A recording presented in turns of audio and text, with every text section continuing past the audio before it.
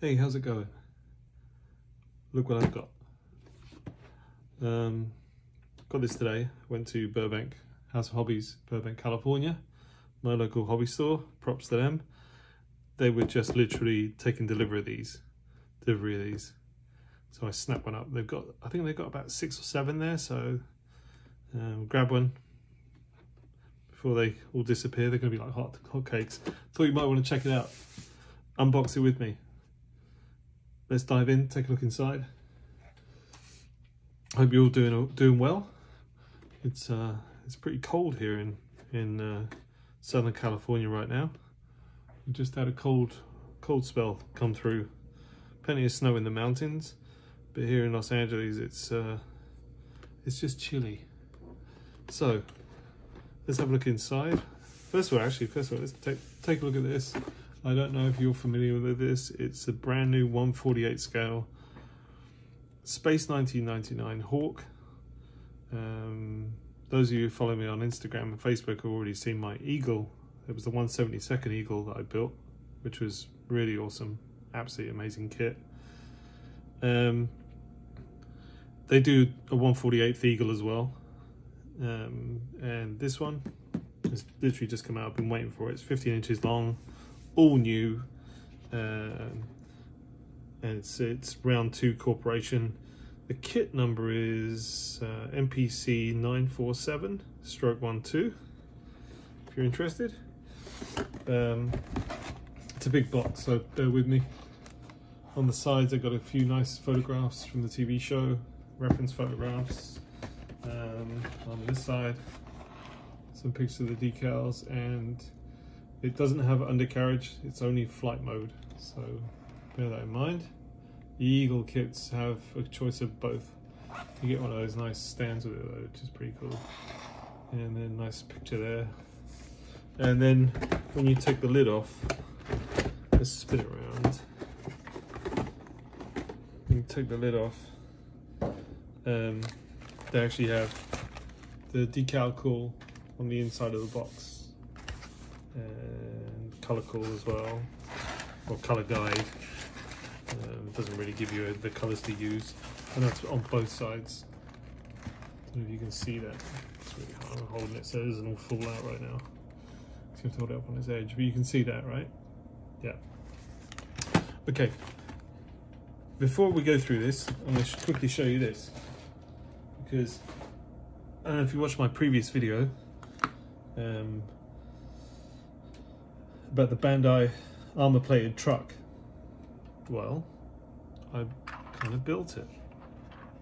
It's not completely done. I mean, I've got. I'm going to spend some more time on it, but uh, this is where I kind of got to on it. Obviously, it comes in two pieces. So you got the cab there, which uh, is kind of cool. Mixed um, mixture of paints. Did this um, digital camo.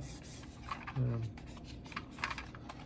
which was the first time I've ever I've actually really done digital camo and I think it turned out pretty well actually. It's not bad at all. Um, wheels a turn.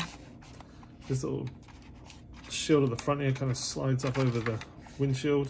It's a little bit fiddly but there you go like that. And down again. And the nice thing about this is you can drill out the lights and put LEDs in um, I did that and the roof actually just pops off in wonderful Bandai style. So you can put your lighting wiring in there, battery. I've got a little 3 volt battery in there and a little button and we turn that on and they pop. And that, that uh, just clips back on like that. And there you go really cool headlights. So this, if you buy another one, this this actually comes with another extension that comes out the trailer here, which you can clip into the trailer here. And so it means you can actually, if you have another two of these kits, you can do a train of two trailers, so on and so forth, if you want to do that. If you've got like an idea where you want to sort of fill them up with Gundams and whatnot. Um, The trailer itself's really cool. Nice bit of engineering. I don't know, are just so good at this stuff. Really easy to put together. And the side doors basically just slide up and down like that. They have, they have two piece, two piece uh, door, both sides, like that. Basically, just pop those off, bend those over. They pop either, they just pop out either end like this, and then they just slide down. It says, here you go. There. They just slide down, lock into place like that, basically. Like that. Both sides. Very cool. That, and then they just fold back up again, and you can lock them in place. There's like little poppers on the inside. Like that. I added some custom decals because the kit itself doesn't really come with any decals. It literally has about four or five. They're like stickers for the headlights and backlights, these little tail lights and whatnot, but no real insignia. So I'm like, well, it's a bit of a what if anyway, based on the original um, truck from the from the show. So I went through my decal box and came up with some a few sort of like the skull and crossbones there and those little stripes and on the back these little um, markings like so they're like reflectors. They're lights down here. I've got to paint those in. I've got to do the top lights as well. But yeah pretty effective really easy like I said super easy to put together. Um, you can do a lot with this if you if you're that way inclined. I kind of to be honest with you with these kind of things I don't want to go crazy on them because I just think they look better sort of stylized like this because you get a kind of a, a, high, a sort of slight realistic look but you know, without trying too hard. So it still lends itself back to the, the whole kind of like almost cartoonish look, if you like. Cross between the two. I've got some cool decals there. They're actually off a, um, a Cobra helicopter kit, the Academy one. Which is kind of cool, like skull with guns, which I kind of liked. Um, so yeah, there you go. Thought you'd like to see that before we go through the Hawk and that just slots in there like that and of course the wheels around so you can, you can play with it a bit if you want and you can throw your Gundam your Gundam guns in the back or you can sit your Gundam in it or whatever you like that's it let's pop that off actually I'll do that like that yeah all right so let's dive in to the Hawk Right, it's a, it's a big box. Big box. What I'm going to do is I'm just going to plonk it all out on the table, to be honest, because uh, there's. Uh, Oh, I'm going to get rid of this box. So I'm to plonk it all out like that, and go through it. Right. So before we go through it, we'll go through the details. Now, this is my only criticism of, of round two with MPC kits. There's still, they've you know, I think the boxes are nice, the box art's nice, the you know everything's kind of cool, but come on, come on, guys. Let's upgrade the uh, instructions because these are the old school ones, and you know, yeah, I like them. I think they're, they're nice. They really are. They're just very clear. They're very simple. They're really easy to follow they do work really nice, but I really want to see a slight upgrade to these. I want to see the color cool. I want to see some paint recommendations. I want to see decal calls, all in a nice, you know, maybe a three color booklet, something like uh, like Revell are doing at the moment with um, color guide sections. Just, you know, generally take this and bring it into 2022 because the whole retro styling of it, you know, it looks a bit like it's been Xeroxed, which is kind of what old instructions used to look like. Which I, I don't know. I think it's kind of like it was it was cute for for a minute, but I think they're ready now. They're making some really nice new kits. And uh, as they're making these new updated versions of the kits, I, I think they need to concentrate on you know the final touches which i think is instructions instructions are always an afterthought with every model company it seems apart from one or two of them one or two model companies have really put a lot into their instruction books which is fantastic recently you know like the wingnut wings ones were fantastic you know Das Werk are doing some really nice instruction books and i think it's all part of the package i think you know they have to put just as much effort into the instructions as they do the kit so there's a rant. That's the rant over on that anyway. But um, so, like I said, really simple.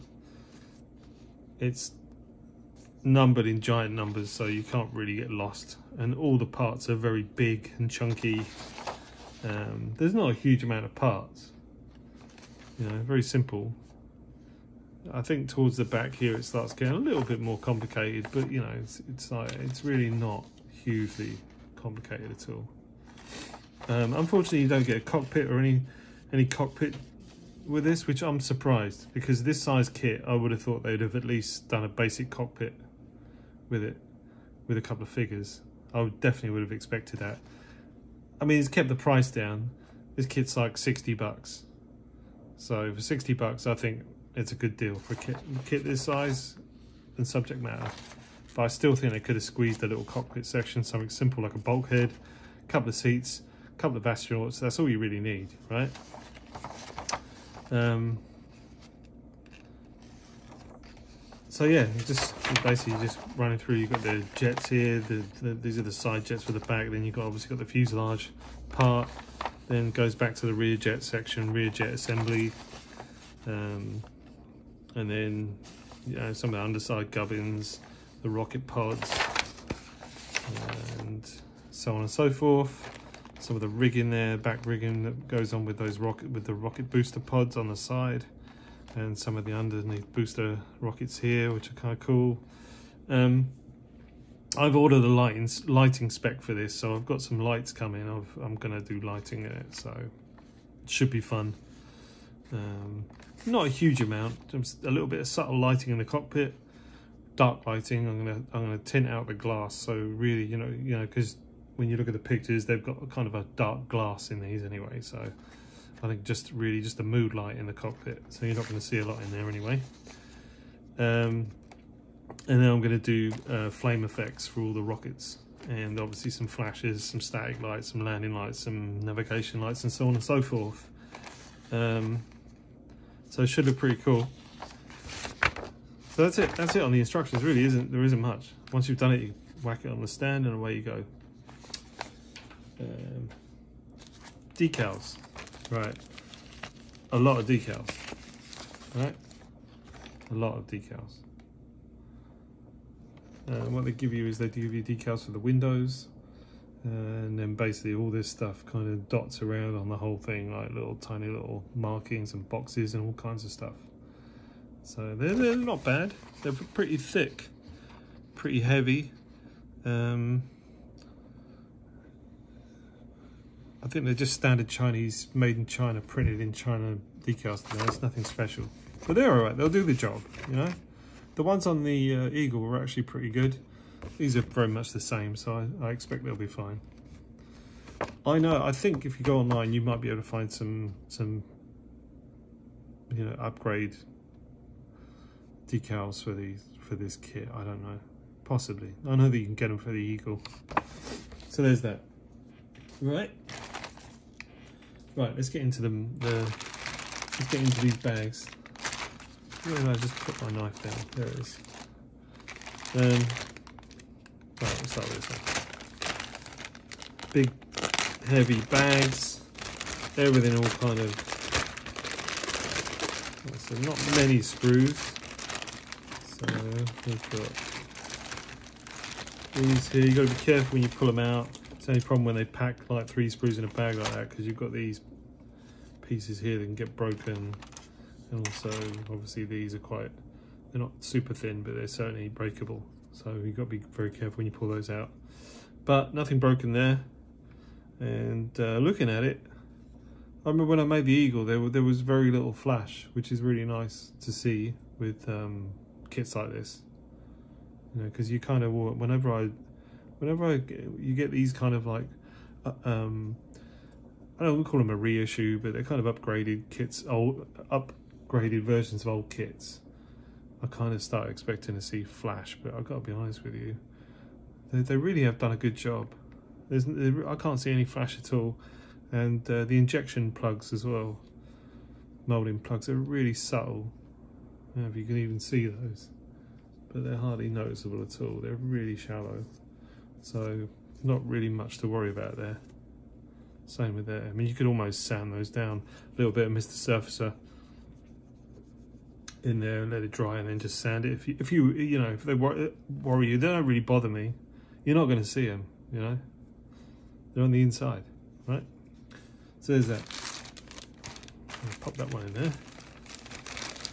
Um, looking at this, we've got more rigging, more rigging, jet exhaust, nicely detailed. Got some nice, nice ribs on that. There you can see. That rib, the bigger size means you know the details packed in a bit better. Um, yep, not bad at all. Details pretty good on them. So yeah, this looks like just part part of the back section here. this. Then we got like the front, looks like the front wings here, or I don't know what you want to call those little tiny wings for the front. Uh, they look like they come in, yeah, two pieces like that. And to the front there.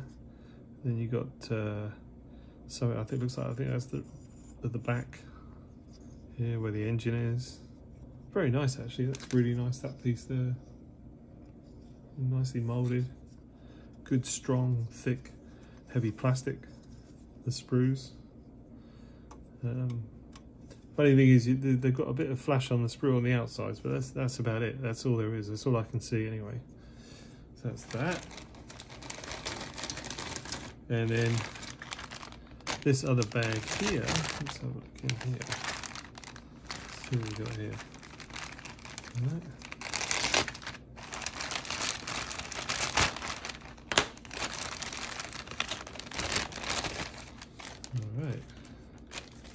So it looks like we've got okay, so front front inside of the uh, of the uh, the very front tip piece, the cockpit, rear engines, exhaust outlets, I think, or whatever they are. Jet outlet, jet exhaust pipes, very nicely detailed. You can see those there. Very nice. Again, no flash maybe a tiny bit, but virtually nothing. I, I, I can't hardly see anything on these. Very nice. Some nice detail there, those little small pieces there. Yeah, some nice details here. These are nice. Whatever they are.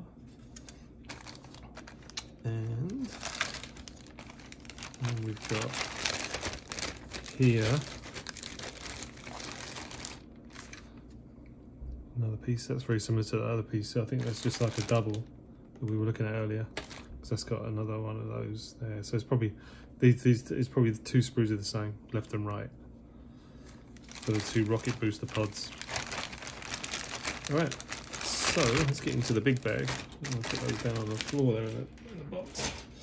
Um see not many parts really at all parts out on this not really anything to get intimidated by, that's for sure. So you can have a lot of fun with it. If you're not too, uh, if you're not really a, a, a, super advanced model builder, you can still come up with something great, right? So this is nice, huge sprue.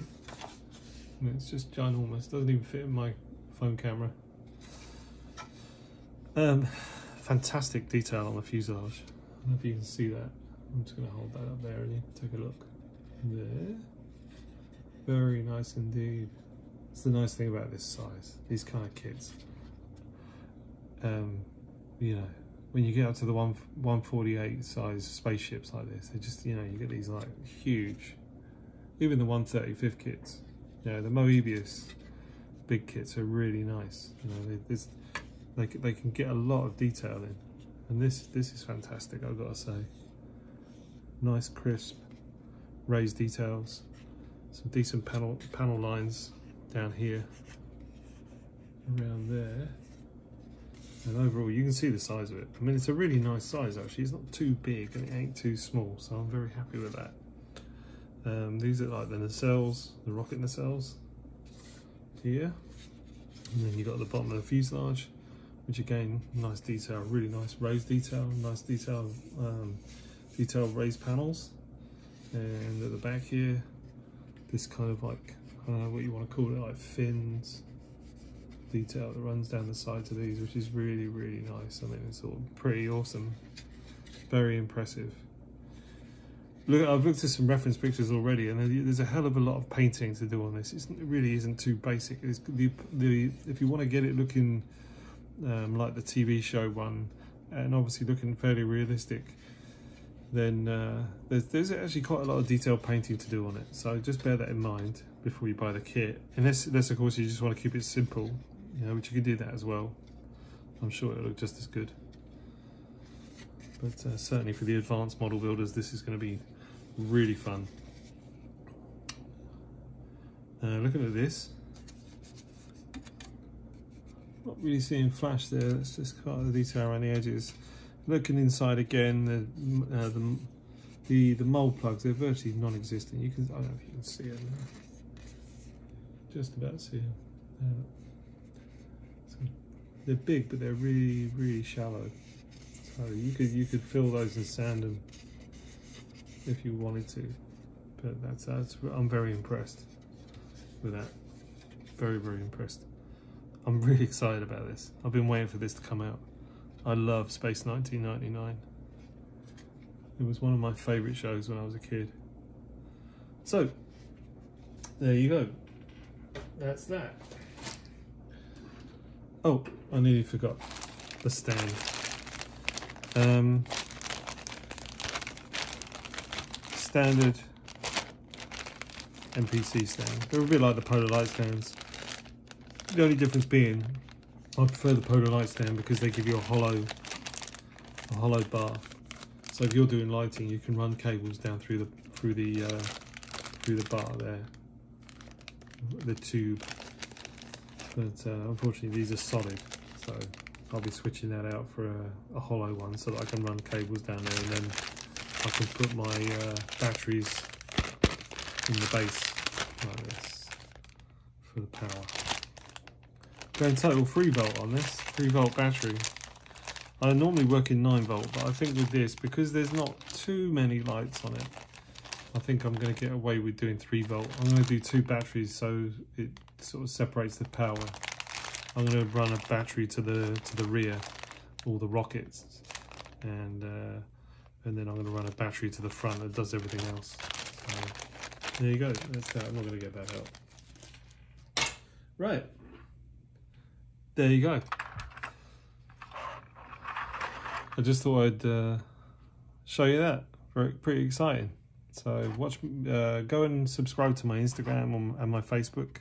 Um, I'm in, on, I use Instagram more than everything else. So subscribe to my Instagram if you haven't already and uh, of course hit the like button on this video and definitely hit that subscribe button on YouTube because uh, it really helps me a lot. I'm really trying to build this channel. Obviously, I'm I'm not going to be able to build it too quickly or you know sort of like take it somewhere unless I get more subscribers. So it's it really helps me a lot if you hit that subscribe button. Thank you very much. Have a wonderful rest of the week and stay safe. I know there's a lot of crazy stuff going on in the world right now, so just stay safe, stay close to your friends and family, and uh, you know, just generally have a great week. Thanks.